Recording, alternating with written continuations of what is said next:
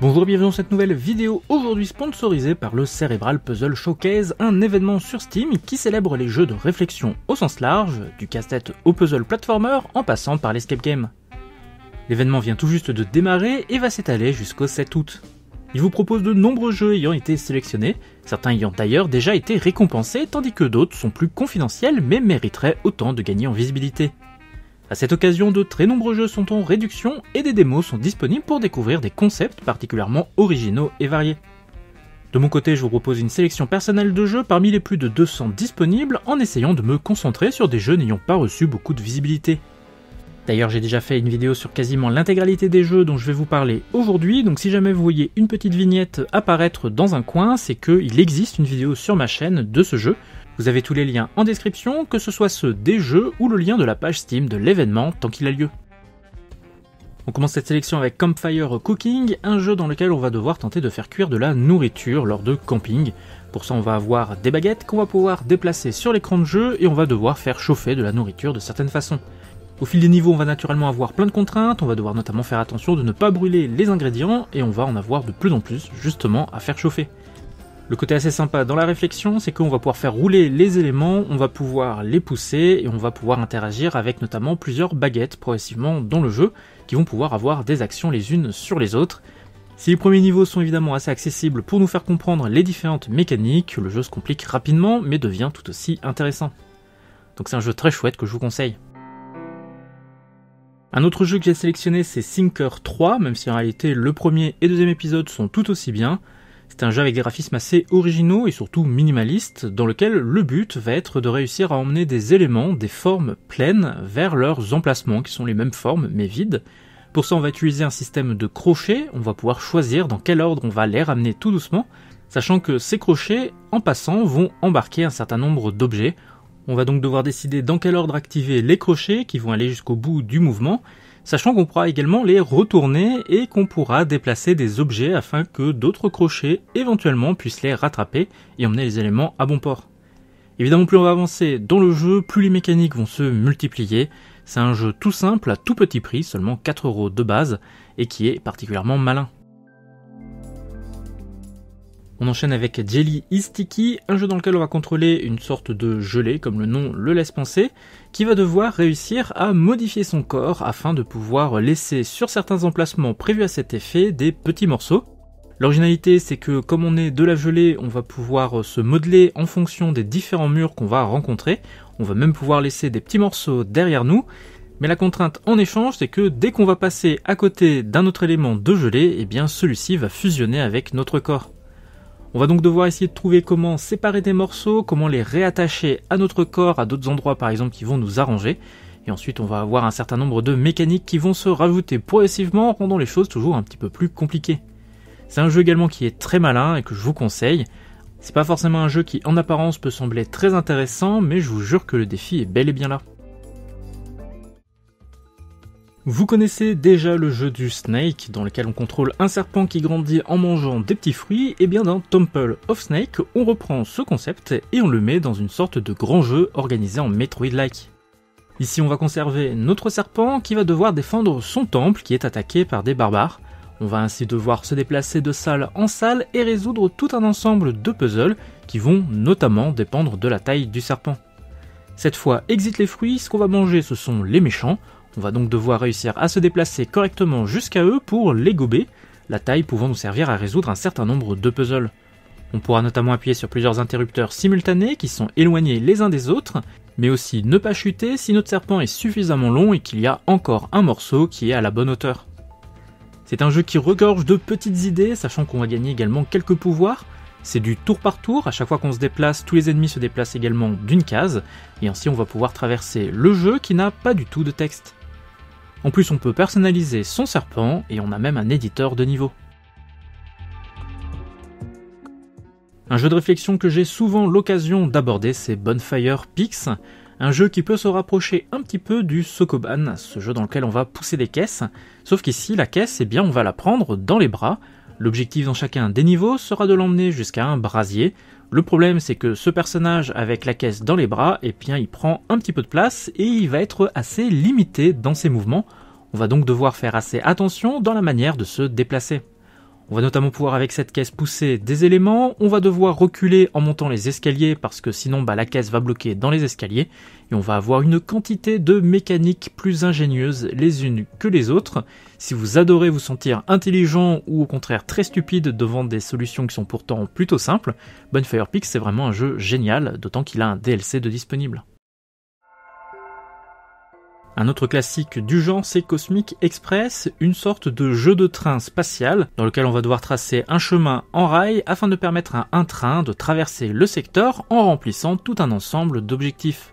On va notamment devoir récupérer régulièrement des personnes pour les emmener à des gares, sachant qu'on n'aura pas tout le temps assez de place pour prendre tout le monde. On va donc devoir bien décider de la route à prendre. Et puis naturellement, comme d'habitude, on va retrouver de nouvelles petites choses qui vont agrémenter le gameplay. Une des originalités en plus, c'est que parfois il existe plusieurs sorties, et suivant la sortie qu'on arrive à atteindre avec une solution, eh bien on va sur une carte prendre un embranchement vers certains niveaux, et donc si on veut libérer l'autre embranchement, eh bien on va devoir refaire le même défi, mais en trouvant une autre solution qui nous permet de passer par l'autre sortie. Bref, c'est un jeu qui est extrêmement malin, je vous le conseille fortement. On passe maintenant sur Fidel Dungeon Rescue, un jeu très chouette dans lequel on va contrôler un chien qui va tenter de s'enfoncer toujours plus profondément dans un donjon. Le problème c'est qu'évidemment il y a des créatures qui vont pouvoir nous gêner, et pour atteindre la sortie, on sera parfois obligé de les attaquer. Le jeu a une dimension de rogue, les niveaux vont être à chaque fois générés procéduralement, mais avec toujours des biomes et une certaine difficulté très progressive. La logique du jeu ainsi est qu'on va pouvoir se déplacer de case en case, mais à chaque fois qu'on a marché sur une case, eh bien il y a une trace de notre laisse et on ne pourra pas revenir sur cette même case. On devra donc trouver une route qui va nous permettre d'attaquer des ennemis, ce qui va nous faire perdre un petit peu de vie, mais essayer entre-temps de trouver des nouveaux packs de soins à atteindre avant à nouveau de tuer des ennemis. En effet, tuer des ennemis sera nécessaire non seulement pour se frayer un chemin, mais aussi pour gagner de l'expérience, et avec cette expérience, des niveaux qui nous rapporteront à chaque fois un point de vie. On pourra ainsi tuer plus d'ennemis sans avoir besoin de trouver rapidement de la vie, autant dire qu'on va augmenter progressivement notre survivabilité. Le jeu nous permet en plus à tout instant de revenir une case en arrière si jamais on se rend compte qu'on a fait une erreur. On va donc pouvoir essayer de trouver la route la plus optimisée à chaque fois pour sortir en ayant gagné le maximum d'expérience.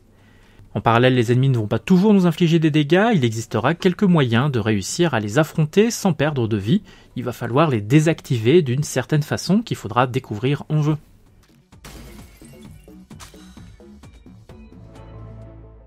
Un autre jeu que j'avais beaucoup aimé dans cette sélection, c'est Light Matter, un jeu à la première personne dans lequel on va devoir tenter de vaincre les ombres. En effet, celles-ci sont un petit peu particulières puisqu'elles vont avaler tout ce qu'elles touchent. On va donc devoir jouer avec la lumière en déplaçant des lampes, et ça peut faire penser un petit peu à une sorte de Talos Principle. On va ainsi devoir trouver comment organiser les lampes pour se créer un passage pour récupérer d'autres lampes à utiliser autrement. On va devoir également activer des lasers pour pouvoir par exemple ouvrir quelques portes ou des choses comme ça, et le tout avec des graphismes que je trouvais plutôt sympas.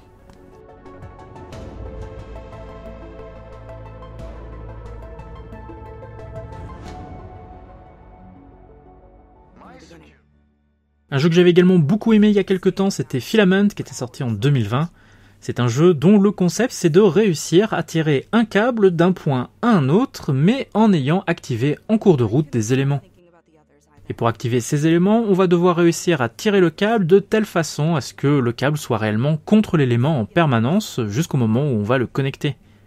On devra ainsi trouver la route pour pouvoir mettre en contact notre câble avec les différents poteaux, sachant que certains poteaux, par exemple les noirs, ne pourront pas l'être, ou que certains poteaux auront des petites bordures qui nous empêcheront de le toucher avec le câble d'un côté. Bref, il va falloir enchaîner les puzzles qui vont sans cesse se renouveler, sachant que la difficulté, c'est que, eh bien, notre câble, on ne peut pas passer à travers, donc si on a coupé la salle en deux, eh bien, on ne pourra pas accéder à l'autre moitié avec cette solution. Autant dire que ça va faire des nœuds au cerveau, et c'est vraiment un jeu que j'avais beaucoup beaucoup apprécié. Un jeu sorti il y a seulement quelques mois, c'était Can of Wormholes, un jeu de réflexion évidemment, dans lequel on va contrôler une sorte de petit transistor à pattes à travers des niveaux, dans lesquels chacun va proposer plusieurs puzzles, dans lesquels on va envoyer une sorte de limace insecte un peu longue, dont l'objectif sera toujours de réussir à faire rentrer la créature dans une forme qui est au sol. Le problème, c'est que cette créature, elle va avoir une série de mouvements assez particuliers, on ne peut bouger que la tête, et en plus, il faudra parfois qu'elle ait une certaine longueur, plus courte ou plus longue que ce qui nous sera demandé. On va donc devoir explorer la zone tout en gardant en tête que notre créature peut rester un petit peu au-dessus du vide à partir du moment où il y a au moins une partie de son corps qui est sur une partie blanche. En effet, le fond coloré, c'est du vide, si l'intégralité de la créature est dessus, on tombe et on perd. Le jeu est particulièrement malin et je vous invite vraiment à regarder la vidéo que j'ai faite sur le jeu pour voir un petit peu le genre d'idées qu'on peut y trouver. En tout cas, c'était vraiment un des jeux de ces derniers mois qui m'avait vraiment bluffé, d'autant qu'il y a beaucoup plus que ce que je vous montre, mais je vous laisserai le découvrir si ça vous intéresse pour pas vous spoiler. Un autre jeu sur lequel j'ai passé beaucoup de bon temps, c'est The Signal State. C'est un jeu, quand on le voit, qui fait vraiment peur. On se dit, oulala, qu'est-ce que c'est que tout ça? En réalité, c'est beaucoup plus simple que ça en a l'air, ou du moins, la difficulté du jeu est particulièrement progressive. En gros, au travers d'une histoire, on va nous proposer toute une série de niveaux dans lesquels on va avoir un signal en entrée qu'on va devoir modifier pour le faire arriver jusqu'à la sortie. Pour cela, on va avoir tout un ensemble de modules qui vont pouvoir transformer ce signal de certaines façons en fonction des demandes qui nous seront faites. Dans un niveau, on va ainsi devoir simplement inverser le signal. Si on nous envoie un 1, on va devoir envoyer un 0 ou l'inverse. Et on va ainsi devoir, avec un certain nombre de boîtes, moduler, connecter des éléments à d'autres et parfois même manipuler plusieurs signaux indépendants qui, en fonction de l'un ou de l'autre, vont recréer un certain nombre d'éléments qu'on peut connaître, notamment tout ce qui touche aux boîtes logiques. Évidemment, ça va être même un peu plus compliqué que les boîtes logiques, mais ça, bah, je vous laisse le découvrir. C'est un jeu qui au début fait, comme je disais, vraiment très peur, mais la difficulté est quand même progressive, et les premiers niveaux qui semblaient si durs sembleront finalement plutôt simples. A Monster's Expedition, c'est vraiment un grand classique du genre. C'est un jeu dans lequel on va contrôler un petit extraterrestre sur un ensemble d'îles interconnectées qui va devoir tout simplement réussir à les relier pour passer de l'une à l'autre. Pour cela, il va pouvoir pousser des troncs d'arbres, lesquels vont avoir des comportements particuliers, les troncs vont pouvoir rouler, ils vont pouvoir être décalés, et avec ça, tout simplement, on va devoir créer des ponts vers les autres îles. Sauf que évidemment les ponts vont devoir être créés dans une zone particulière de l'île sur laquelle on se trouve pour faire la connexion, et c'est là que ça va commencer à être un petit peu compliqué. Encore une fois, les mécaniques sont expliquées tout doucement avec toujours de petites nouveautés et des petites choses très malines. C'est vraiment un petit bijou de réflexion. Un jeu sorti en 2017 qui m'avait subjugué à l'époque, c'était Landlight. C'est un jeu qui, comme le nom l'indique, va nous faire contrôler une petite ligne de lumière le long de rails, et c'est un jeu qui ne cesse de nous offrir de nouvelles mécaniques en permanence. L'objectif sera à chaque fois de traverser l'écran dans lequel on se trouve. En fait, c'est une sorte de carte gigantesque, mais nous on ne voit à chaque fois qu'un petit carré dans lequel on a simplement un petit défi, et on va devoir tout simplement progresser et découvrir les nouvelles mécaniques qui vont toujours nous être expliqués directement à travers les puzzles de façon très claire.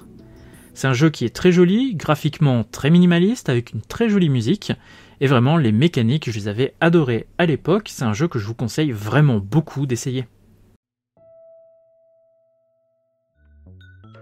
Il n'y a pas si longtemps sortait Railbound, un jeu de réflexion, encore une fois avec un système de rails, on va nous présenter tout un ensemble de niveaux dans lesquels on devra réussir à emmener des wagons jusqu'à une locomotive, mais la difficulté c'est que on aura un nombre de rails limité. En plus, à côté de ça, on va avoir progressivement plusieurs wagons qu'on va devoir emmener, et en plus, il y aura un ordre dans lequel les ramener. On va donc devoir créer des rails pour pouvoir réussir à emmener tous les wagons dans le bon ordre jusqu'à la locomotive, avec tout un ensemble de mécaniques qui, encore une fois, évidemment, vont beaucoup, beaucoup évoluer, et si les niveaux classiques de la campagne ne sont pas suffisants, il y en a plein d'alternatives qui vont permettre de vraiment pousser à bout les mécaniques du jeu. C'est un jeu que j'avais vraiment beaucoup apprécié et comme à peu près tous les autres, bah, je vous le conseille. Un autre petit bijou de jeu de réflexion, c'est Eleked. C'est un jeu orienté plutôt plateforme puzzle dans lequel on va contrôler un personnage électrique qui, en touchant certaines surfaces, va activer des éléments à l'écran. On va avoir des éléments positifs qui vont par exemple pouvoir activer des plateformes, mais aussi d'autres qui vont être plutôt négatifs, qui vont activer des pièges. L'originalité du jeu, c'est que, en réalité, comme le nom le laisse penser, ce n'est pas l'intégralité de notre personnage qui est électrique et qui active les éléments, c'est uniquement la tête. On va donc pouvoir détacher notre tête, la poser quelque part et avec notre corps tenter de se déplacer le plus rapidement possible pour faire quelque chose nous permettant de progresser. Parce que le problème c'est qu'on ne va pas pouvoir rester sans tête éternellement, on va avoir un petit compteur, donc ça va toujours nous forcer à faire le plus vite possible.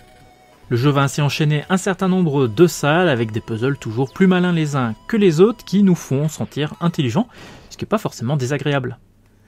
En cours de route, on aura également quelques petits twists, mais ça, je vous laisse le découvrir.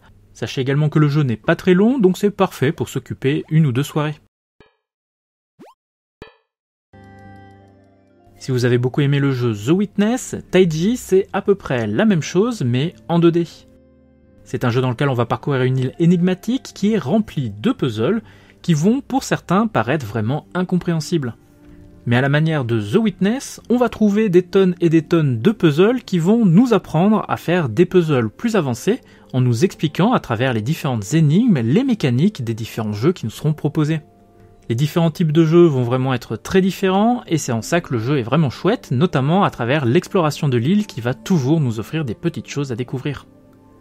Donc si vous aimez The Witness et que vous avez envie d'une version 2D, eh bien Taiji c'est vraiment ça. On continue avec un autre classique qui commence un petit peu à dater puisqu'il était sorti en 2015, il s'agit de Snakebird. Snakebird c'est un petit peu comme Can of Wormholes, sauf que au lieu d'être en vue de dessus, on est cette fois en vue de côté, et donc bah forcément on a de la gravité. On va ainsi devoir contrôler notre personnage pour qu'il gobe tous les fruits avant de pouvoir quitter la zone. Mais on pourra également se coincer, on va donc devoir faire très attention à la manière de se déplacer.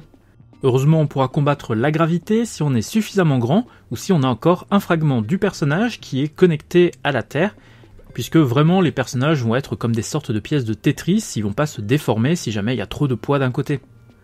Avec le temps, on va même pouvoir contrôler plusieurs personnages qui vont devoir s'entraider pour réussir à atteindre les objectifs et notamment à terme la sortie. Bref, au début ça va être plutôt simple, mais évidemment la difficulté va venir de façon très progressive. Arrivé en 2022, on a eu Bomb Club Deluxe, un jeu dans lequel on va devoir faire des réactions en chaîne en posant des bombes sur un plateau de jeu. Au travers de chacun des niveaux, l'objectif sera généralement de détruire des bombes qui sont présentes en plaçant quelques-unes des nôtres qui sont particulières. En effet, celles-ci vont avoir tout un ensemble d'effets en fonction de la tête qu'elles ont, qui va permettre de détruire soit des cases qui sont autour d'elles, soit des cases éloignées selon certains critères. Tout ça évidemment, on va le découvrir de façon très progressive en libérant niveau après niveau de nouvelles bombes, sachant que en plus par-dessus ça, on va avoir également des chapeaux qui vont modifier les effets des bombes. Donc côté variété, on est vraiment sur quelque chose de particulièrement riche. En plus depuis la carte du monde, on va également pouvoir trouver d'autres niveaux assez particuliers qui vont modifier les règles. Donc il y a vraiment de quoi trouver beaucoup de variété dans Bomb Club de luxe.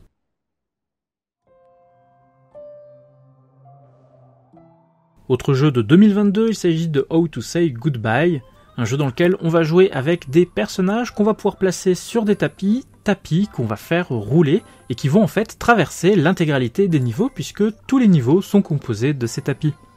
On va ainsi avoir des cases qu'on va pouvoir faire coulisser verticalement ou horizontalement, en diagonale en réalité, qui vont nous faire déplacer des éléments, soit du décor, soit nos personnages, et l'objectif, au travers d'un certain nombre de règles qu'on va apprendre progressivement, sera toujours d'emmener notre personnage à l'opposé du niveau.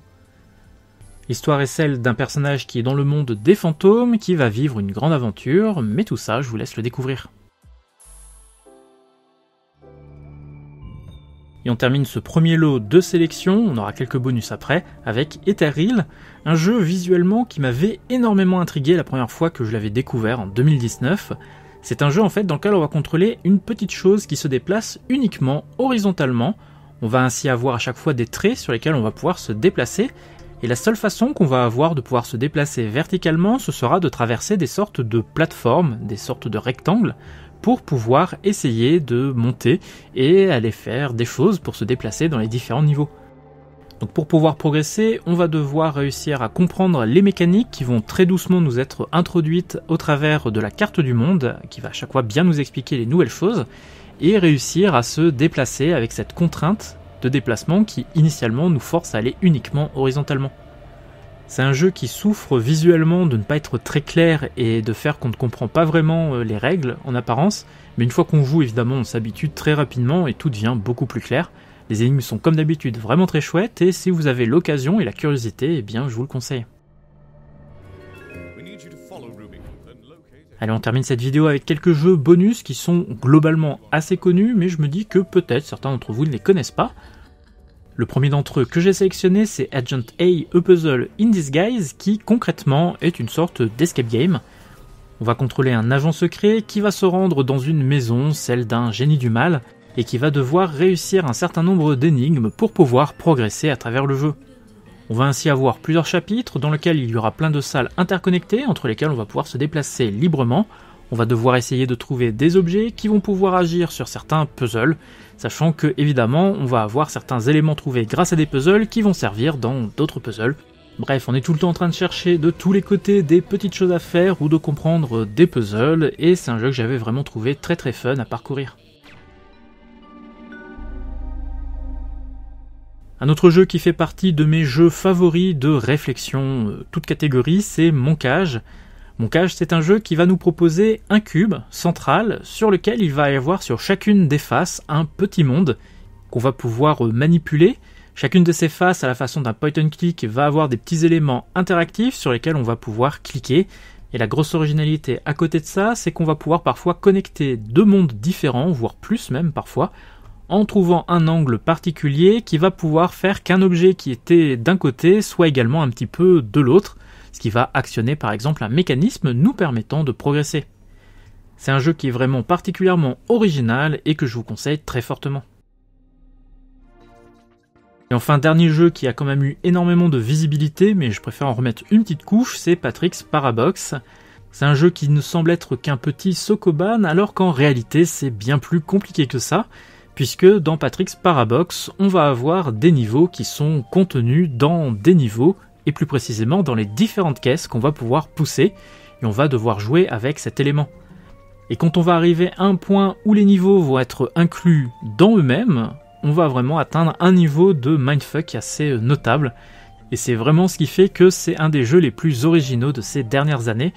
Les puzzles ont des mécaniques qui vont nécessiter un petit temps d'adaptation qui sera pas toujours simple à avoir, mais heureusement, dans le jeu, on a les niveaux principaux qui sont en général pas trop durs, et puis on a énormément de niveaux secondaires qui vont pousser un petit peu plus loin, ce qui fait que si jamais on a juste envie de traverser les différentes mécaniques, eh bien on pourra les faire au travers des chapitres, sans nécessairement avoir fait les niveaux les plus difficiles. Et puis d'ailleurs, le jeu qui était juste sur Windows, Mac et Linux vient tout juste de sortir sur Switch et PS5. Et j'en profite au passage pour un tout dernier petit bonus, cette fois concernant une démo. Récemment, je vous avais parlé de Project Operator que j'avais découvert lors du Sunfest. Eh bien, ça y est, il y a enfin une démo qui va arriver pendant l'événement.